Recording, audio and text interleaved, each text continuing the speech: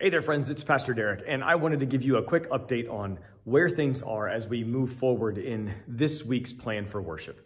Um, our plan this week is to worship outside, and we're going to be worshiping outside with our live stream indoors.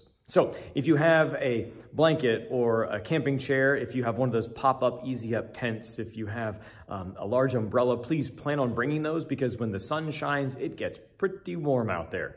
Uh, we'll do our best to provide air movement with some oversized fans, um, and we will all distance ourselves around the pavilion just like we did last week. It was great to see so many of you uh, journeying out and yet still being able to maintain the physical gaps uh, between our respective households that has been requested of us uh, by the government. So with that, we will be outside. Now, those of you who don't want to be outside or just uneasy about being around people outdoors even, we do have the indoor live streaming option that will be available to you here on property. The goal is to get as many members of Living Word and our community together to worship God in one place as possible. Whether you're inside or you're outside, the service will be absolutely identical. We'll have a representative inside to make sure your needs are taken care of.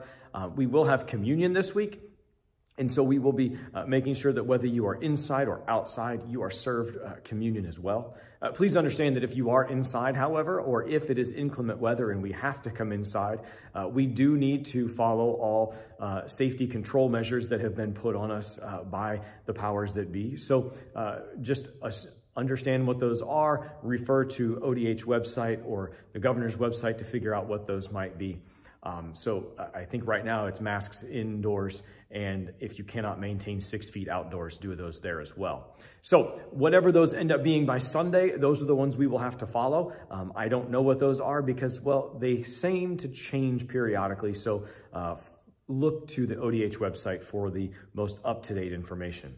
Now, we are offering another option, a new opportunity for you to gather for worship. Um, I've, I've heard from some of you that uh, large gatherings are still just a little bit questionable for you, and I want to make sure that we serve you well in those as well. And so on Wednesday nights at 7 p.m., starting this Wednesday, August 5th, uh, we will be offering a midweek 7 p.m. worship service where all of those control measures are enforced a little bit more firmly.